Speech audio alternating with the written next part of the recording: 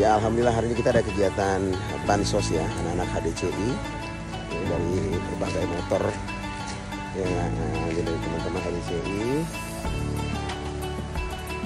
kita sekarang lagi bansos di panti asuhan ya seperti biasa kegiatan sosial ya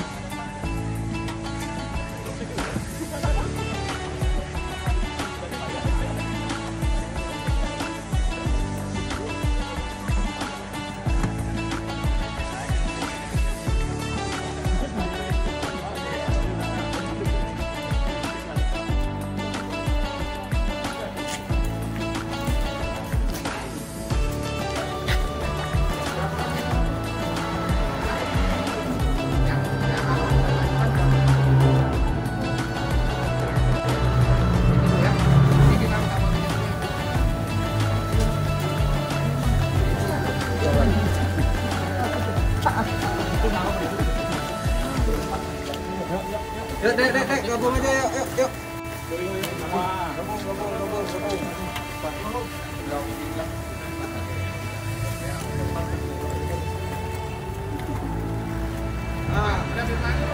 Bentar, bentar.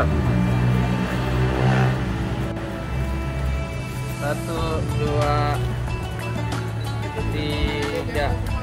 Oke lagi. Sini ya, sini ya. Satu, dua.